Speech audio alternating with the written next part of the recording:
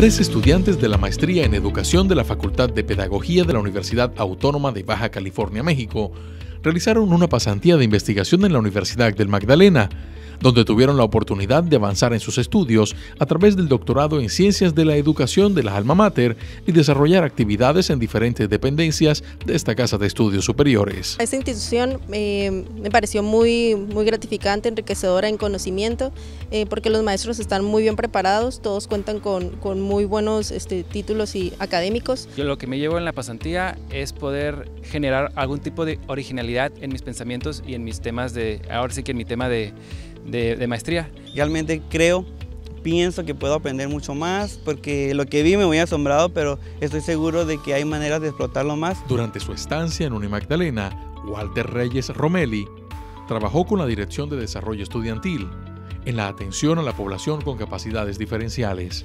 Ana González Leal con el equipo de educación y comisión del programa de psicología y Miguel Domínguez Cruz con el Centro de Innovación y Emprendimiento, espacios desde los cuales destacaron los procesos de inclusión que lidera la Alma Mater. Nunca había estado presente en una clase con intérpretes. Entonces, de hecho, yo grabé videos que pienso pues enseñarles allá en mi universidad para como motivarlos de que sí podemos lograrlo.